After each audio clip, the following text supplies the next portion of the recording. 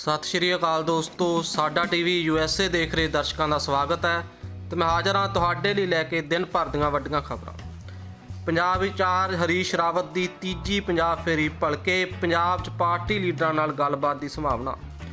2 ਮਹੀਨੇ ਪਹਿਲਾਂ ਹਿਮਾਚਲ ਤੋਂ ਸੀਨੀਅਰ ਕਾਂਗਰਸੀ ਨੇਤਾ ਆਸ਼ਾ ਕੁਮਾਰੀ ਨੂੰ ਬਤੌਰ ਪਾਰਟੀ ਇੰਚਾਰਜ ਪੰਜਾਬ ਵਿੱਚੋਂ ਬਦਲ ਕੇ ਉੱਤਰਾਖੰਡ ਦੇ ਸਾਬਕਾ ਮੁੱਖ ਮੰਤਰੀ ਤੇ ਪੰਜ ਵਾਰ ਐਮਪੀ ਰਹੇ ਕਾਂਗਰਸੀ ਨੇਤਾ ਹਰੀਸ਼ ਰਾਵਤ ਨੂੰ ਇਸ ਸਰਹੱਦੀ ਸੂਬੇ ਵਿੱਚ ਤੈਨਾਤ ਕਰਨ ਉਪਰੰਤ ਆਪਣੇ ਦੋ ਮਹੱਤਵਪੂਰਨ ਗੇੜਿਆਂ ਦੌਰਾਨ ਉਹਨਾਂ ਪਾਰਟੀ ਵਿੱਚ ਨਵੀਂ ਰੂਹ ਫੂਕੀ ਹੈ।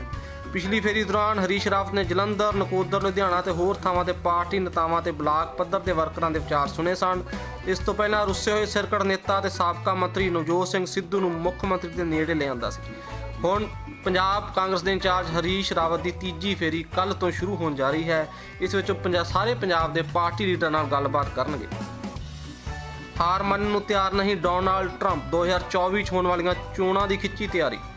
ਪੈਂਸਲਵੇਨੀਆ ਜਾਰਜੀਆ, ਐਰੀਜ਼ੋਨਾ ਵਿੱਚ ਅਦਾਲਤ ਤੋਂ ਝਟਕੇ ਖਾਣ ਤੋਂ ਬਾਅਦ ਅਮਰੀਕਾ ਦੇ ਰਾਸ਼ਟਰਪਤੀ ਡੋਨਾਲਡ ਟਰੰਪ ਨੇ ਹੁਣ 2024 ਲਈ ਰਿਪਬਲਿਕਨ ਉਮੀਦਵਾਰ ਦੀਆਂ ਤਿਆਰੀਆਂ ਸ਼ੁਰੂ ਕਰ ਦਿੱਤੀਆਂ ਹਨ। ਹਾਰ ਸਵੀਕਾਰ ਕਰਨ ਤੋਂ ਇਨਕਾਰ ਕਰ ਰਹੇ ਟਰੰਪ ਪਾਰਟੀ ਤੇ ਹੀ ਪਕੜ ਢਿੱਲੀ ਨਹੀਂ ਕਰਨਾ ਚਾਹੁੰਦੇ ਅਤੇ ਆਪਣੇ ਕਰੀਬੀ ਨੇਤਾ ਰੋਤਰਾ ਮੈਕਡੇਨੀਅਲ ਨੂੰ ਹੀ ਰਿਪਬਲਿਕਨ ਪਾਰਟੀ ਦੀ ਨੈਸ਼ਨਲ ਕਮੇਟੀ ਦੀ ਪ੍ਰਮੁੱਖ ਬਣਾਏ ਰੱਖਣਾ ਚਾਹੁੰਦੇ ਹਨ।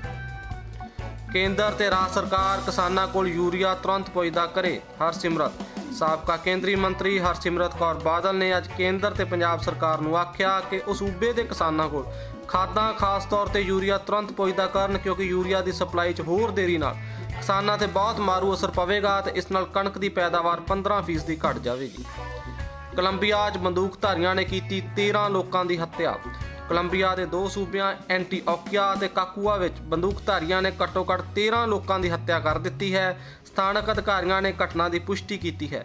ਬੇਤਨੀਆ ਨਗਰ ਨਿਗਮ ਦੇ ਮੇਅਰ ਕਾਰਲੋਸ ਮਾਰੀ ਵਿਲਦਾ ਨੇ ਐਤਵਾਰ ਡਬਲਯੂ ਰੇਡੀਓ ਕੋਲੰਬੀਆ ਨੂੰ ਦੱਸਿਆ ਕਿ ਭਾਰੀ ਹਥਿਆਰਾਂ ਨਾਲ ਲੈਸ 10 ਲੋਕ ਲਾ ਗੈਬਰੇਲੀਆ ਫਾਰਮ ਵਿੱਚ ਪਹੁੰਚੇ ਅਤੇ 14 ਲੋਕਾਂ ਤੇ ਅੰਨ੍ਹੇਵਾਹ ਗੋਲੀਬਾਰੀ ਕੀਤੀ, ਜਿਸ ਨਾਲ 7 ਲੋਕਾਂ ਦੀ ਮੌਤ ਹੋ ਗਈ ਅਤੇ 3 ਹੋਰ ਜ਼ਖਮੀ ਹੋ ਗਏ। ਬਾਅਦ ਵਿੱਚ ਇੱਕ ਸਥਾਨਕ ਪੁਲਿਸ ਪ੍ਰਮੁੱਖ ਨੇ ਦੱਸਿਆ ਕਿ ਆਈਸੀਯੂ ਵਿੱਚ ਜ਼ਖਮੀਆਂ ਵਿੱਚੋਂ ਇੱਕ ਵਿਅਕਤੀ ਦੀ ਮੌਤ ਹੋ ਗਈ ਹੈ।